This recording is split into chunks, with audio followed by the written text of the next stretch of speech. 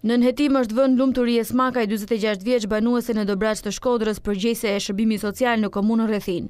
Ndërsa në Komunën Postrib të Shkodrës është vënë nën procedim penal, Dashamir Shabaj, dyzet e tre vjeç, banues në fshatin Boks, Komuna Postrib, përgjegjës në Shërbimin Social të Postribës për shpërdorim detyre. Procedimi penal ka filluar edhe ndaj shtetasve me inicialet AL, dyzet e dy vjeç, banues në fshatin Shtoj i Ri, shtetasi me inicialet BR dyzet e tre vjeç banues në fshatin Zeus, për veprën penale të mashtrimit. Këta shtetas të komunës Rrethinë, janë trajtuar me ndihmë ekonomike nga kjo komunë, ndërsa rezultojnë se jetojnë jashtë vendit.